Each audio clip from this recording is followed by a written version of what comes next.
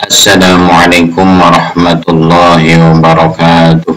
Bismillahirrahmanirrahim. Alhamdulillah nahmaduhu wa nasta'inuhu wa nastaghfiruh Allahumma salli wa sallim ala sayyidina Muhammadin wa ala alihi wa ashabihi ajma'in. Para pemirsa rahimakumullah Niat puasa syawal gabung kamis Insya Allah nanti setelah ini kita balik niat puasa Kamis gabung Syawal dan dilanjutkan dengan gabung kodok Ramadan. Jangan lupa yang belum subscribe silahkan subscribe terlebih dahulu. Bagi yang sudah subscribe kami ucapkan jazakumullah terima kasih. Jangan lupa coret-coret di kolom komentar. Semoga bermanfaat bagi kita semua. Amin ya rabbal alamin. Bismillahirrahmanirrahim. Nawaitu syawma wadin an adai sunnati syawali wa syauma yaumil khamisi lillahi ta'ala nawaitu syauma wadin aku berniat puasa besok. Jadi sebelumnya mohon dicatat ini adalah niat yang diucapkan di malam hari. Jadi malam hari menggunakan lafal nawaitu syauma wadin kalau puasanya hari ini itu diganti nawaitu syauma hadzal yaumi nawaitu syauma hadzal yaumi. Itu kalau puasa eh, niatnya pagi ya. Kalau ini khusus malam hari nawaitu syauma wadin aku niat puasa besok. An adai sunnati syawali untuk menunaikan sunnah puasa sunnah syawal yang jumlahnya enam hari. Wa syawma yaumil khamisi dan niat puasa hari Kamis lillahi ta'ala lillahi untuk Allah ta'ala yang maha luhur yang maha agung yang maha tinggi ini latinya nawaitu syawma wadin an adai sunnati syawali wa syawma yaumil khamisi lillahi ta'ala bagi yang kesulitan bahasa Arab, bisa pakai bahasa Indonesia. Aku niat puasa besok untuk menunaikan puasa sunnah bulan syawal dan puasa hari Kamis karena Allah yang maha luhur. Kita ulangi Arabnya. Nawaitu shawma wadin an adai sunnati syawali wa shawma yawmin khamisi lillahi ta'ala selanjutnya niat puasa Kamis gabung Sawal ini sama saja cuma dibalik ya. Dibalik Kamisnya didahulukan lalu diakhiri dengan Syawal. Nawaitu syauma wadin an adai sunnati yaumil khamisi wa sunnati syawali lillahi ta'ala Nawaitu soma wudin aku niat puasa besok. An adai sunnati yaumil khomisi untuk menunaikan kesunahan puasa hari Kamis. Wa sunnati syawali dan puasa sunnah bulan syawal lillahi ta'ala untuk memperoleh ridha Allah Ta'ala yang maha luhur. Nawaitu syawma wadin adai sunnati yaumil khamisi wa sunnati syawali lillahi ta'ala ini wa sunnati syawali lillahi ta'ala bagi yang kesulitan bahasa Arab pakai saja bahasa Indonesia. Aku niat puasa besok untuk menunaikan puasa sunnah hari Kamis dan puasa bulan Syawal karena Allah yang maha luhur. Kita ulangi Arabnya. Nawaitu syawma wadin an adai sunnati yaumil khamisi wa sunnati syawali lillahi ta'ala Yang terakhir adalah niat puasa Syawal gabung Kamis dan Kodok. Jadi yang punya hutang puasa karena alasan yang dibenarkan oleh syariat agama secara syar'i misalkan bepergian atau sakit atau menstruasi ya ini boleh digabung dengan niat seperti ini niat puasa syawal gabung kamis dan kodok jadi insya Allah mendapatkan tiga pahala. Puasa syawal puasa kamis dan puasa kodoknya itu sendiri. Bismillahirrahmanirrahim. Nawaitu sawma wadin an qadai fardi syahri ramadana wa sawma sunnati syawali wa sawma yaumil khamisi lillahi ta'ala. Jadi kalau untuk puasa wajib didahulukan yang wajibnya dulu. Jadi bayar hutang itu wajib maka bayar hutang di sini disebutkan terlebih dahulu yaitu kodok fardu bulan Ramadan. Nawaitu sawma wadin aku niat puasa besok untuk apa? An qadai fardhu syahri Ramadan untuk bayar hutang puasa bulan Ramadan yang hukumnya fardu ini wa sawma sunnatis syawali dan juga untuk puasa di hari di bulan Syawal wa sawma yaumil khamisi dan untuk puasa sunnah di hari Kamis kesemuanya lillah untuk Allah. Ta'ala Allah itu maha luhur maha tinggi. Ini latihnya nawaitu sawma wadin an qada'i fardhi syahri ramadana wa sawma sunnati syawali wa sawma yaumil khamisi lillahi ta'ala. Yang kesulitan bahasa Arab cukup pakai bahasa Indonesia aku niat puasa besok untuk membayar hutang puasa Ramadan dan aku berniat puasa sunnah bulan Syawal dan juga puasa hari Kamis karena Allah yang maha luhur. Nah kita ulangi untuk yang Arabnya ini.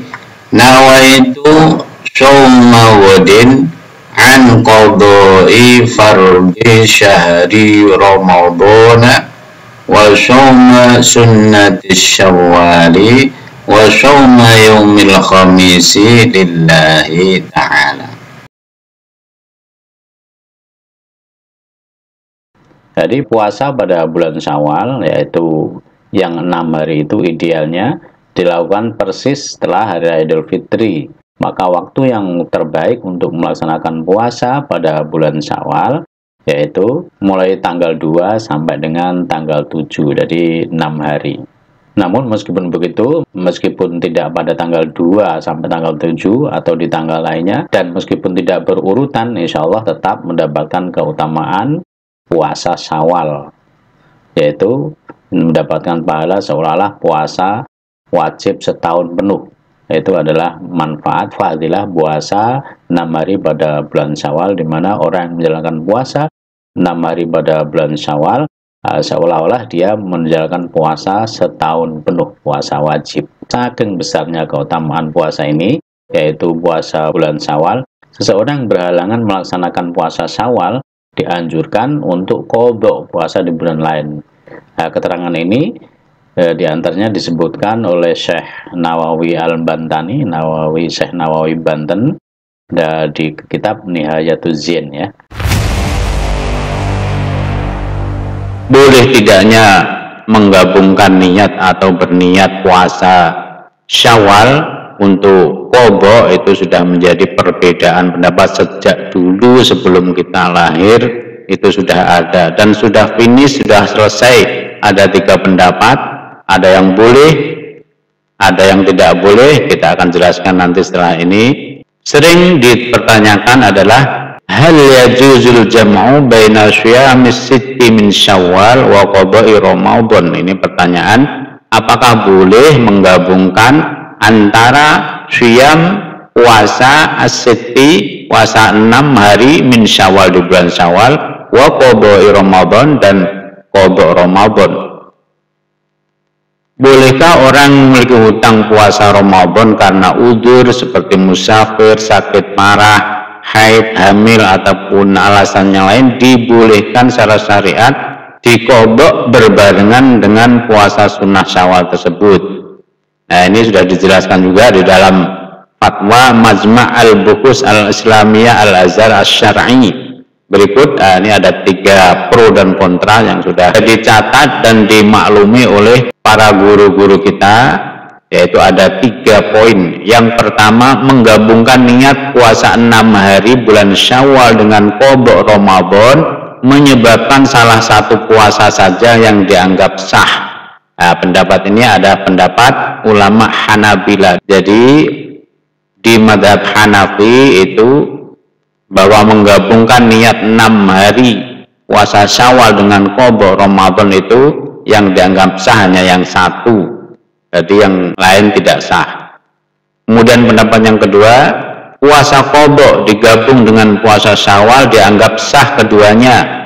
Nah, ini adalah pendapat yang didukung oleh ulama-ulama dari madhab maliki, malikiyah dan mayoritas ulama syafi'iyah. Dari kalangan madhab syafi'i mayoritas membolehkan menggabung puasa syawal dengan kodok Ramadan. Lalu pendapat yang ketiga tidak dibolehkan menggabungkan dua niat. Nah pendapat ini didukung oleh sebagian ulama syafi'iyah dan suatu riwayat ulama Hanabila dari tiga poin di atas kita tahu di situ terdapat dua pendapat di kalangan madhab syafi'i. Ini yang pertama tidak boleh menggabungkan antara puasa wajib dan puasa enam hari syawal. Alasannya apa? Masing-masing punya maksud tersendiri sehingga tidak bisa tadakhul dalam niat tidak bisa digabung niat yang kedua boleh menggabungkan antara niat kodok dan niat puasa enam hari bulan syawal karena maksud puasa syawal adalah menyibukkan diri dengan puasa di bulan syawal Hal ini dikiaskan dengan sholat tahiyatul masjid. Boleh dilakukan sholat apa pun ketika masuk masjid. Hal ini juga dikiaskan dengan masih sahnya mandi wajib yang bisa digabungkan dengan mandi Jumat. Jadi di kalangan Imam Syafi'i, di kalangan mazhab Syafi'iyah juga ada dua pendapat. Kita baca lagi, atas adanya perbedaan pendapat di kalangan ulama, mantan mufti Mesir yang juga anggota Dewan Ulama Senior Syekh Ali Jum'ah menyampaikan seorang muslim boleh menggabungkan niat puasa syawal dan puasa qadha Ramadan sehingga yang bersangkutan memperoleh dua pahala. Nah, meski begitu Syekh Ali Jum'ah menekankan lebih sempurna dan lebih utama jika kedua puasa tersebut dilakukan secara terpisah. Itu saran dari beliau Syekh Ali Jum'ah sah boleh menggabungkan niat keduanya dan mendapatkan pahala tapi lebih utama jika dilakukan terpisah kodok dulu baru puasa sunnah enam hari syawal. Sebab menurut beliau mendapat pahala ganda bukan berarti memperoleh pahala secara penuh. Wajah fi nihayatil muhtad jilid 3 halaman 208 walau soma fi syawalin.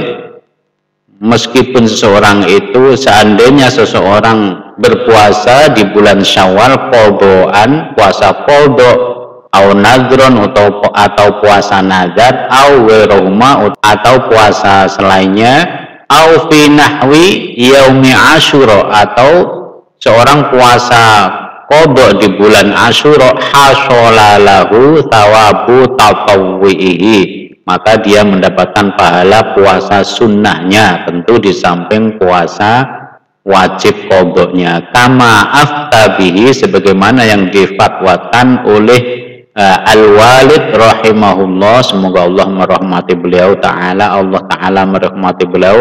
Tabaan ketika beliau sebagai pengikutnya lil barizi imam barizi wal Aspuni dan Imam Aspuni wan Nasiri dan Imam Nasiri wal Faqihi Ali bin Sholeh dan Faqih Ali bin Sholeh al Hadrami wa ghairihim. Lakin la yahsulu akan tetap tidak mendapatkan pahala sesem yang sempurna alal matlub sebagaimana yang dikehendaki. Walladzina rohu dan pendapat kami huwa jawazu jam'in bahwa uh, menggabungkan puasa kodo dan puasa enam hari bulan syawal itu jawazu jam'in boleh digabungkan. Demikian agar kita saling menghormati saling menghargai pendirian masing-masing. Masalah hukum masalah boleh tidaknya sudah dirumuskan oleh para ulama. Kita tinggal mengikut saja